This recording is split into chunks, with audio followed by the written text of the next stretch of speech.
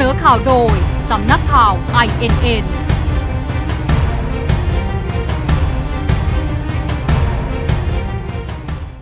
ทั่วโลกติดเชื้อโควิด -19 ไปแล้วกว่า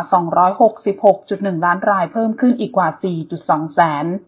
เว็บไซต์ Worldometer รายงานสถานการณ์โควิด -19 ประจำวันที่ 6 ธันวาคม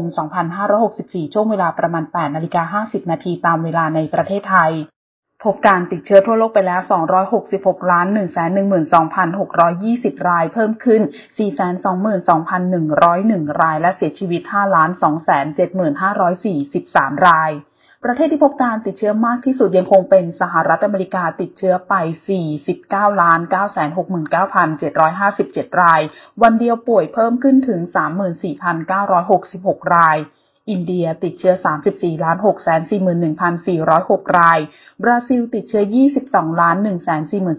143,091 ราย อังกฤษติดเชื้อ 10ล้าน464,389 ราย วันเดียวเพิ่มขึ้นถึง 43,992 ราย และรัสเซียติดเชื้อ9ล้าน8 1,613 ราย เพิ่มขึ้นอีก 32,602 ราย ขณะที่ประเทศไทยก็อยู่ลำดับที่ 24 ของโลก ต่อกันที่สกพรายงานฝุ่น PM 2.5 ในกรุงเทพมหานครวันนี้ค่ะ พบเขตลาดกระบังเกินค่ามาตรฐาน ศูนย์ประสานงานและแก้ไขปัญหามลพิษทางอากาศในกรุงเทพมหานครได้รายงานสถานการณ์ฝุ่นละอองขนาดเล็ก ไม่เกิน 2.5 ไมครอน หรือ PM 2.5 ของสถานีตรวจวัดคุณภาพอากาศของกรุงเทพมหานคร ประจำวันที่ 6 ธันวาคม 2564 ช่วงเวลาประมาณ 7 นาฬิกาที่ผ่านมาค่ะ ค่าเฉลี่ย 24 ชั่วโมงของฝุ่นละอองขนาดไม่เกิน 2.5 ไมครอน หรือ PM 2.5 ตรวจวัดได้ 24 ถึง 52 ไมโครกรัมต่อลูกบาศก์เมตร ซึ่งพบว่าเกินค่ามาตรฐานจำนวนหนึ่งพื้นที่คือเขตลาดกระบัง ด้านหน้าโรงพยาบาลลาดกระบังข้างป้อมตำรวจ มีค่าเท่ากับ 52 ไมโครกรัมต่อลูกบาศก์เมตร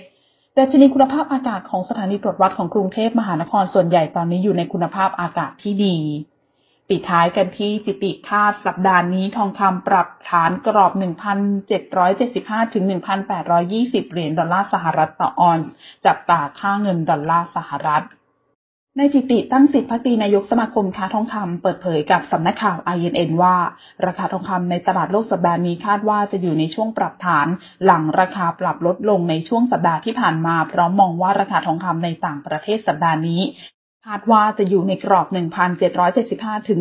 1,820 เหรียญดอลลาร์สหรัฐต่อออน ส่วนประเด็นการแพร่ระบาดโควิด -19 สายพันธุ์ใหม่โอไมครอนเชื่อว่าจะยังไม่มีผลกระทบต่อราคาทองคำเพราะการแพร่ระบาดนั้นยังไม่เป็นวงกว้าง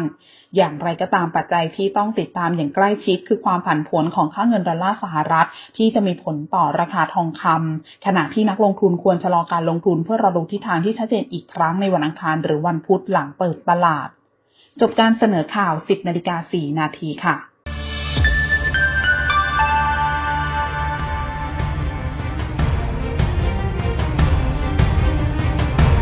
เสนอข่าวโดย สำนักข่าว INN